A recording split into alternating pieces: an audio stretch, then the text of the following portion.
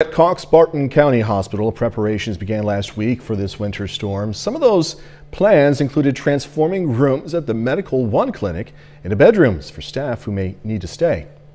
They've also made space in the hospital itself for staff who feel it may be too dangerous to leave the hospital during the storm. Officials say they do anticipate staff staying in the hospital tonight.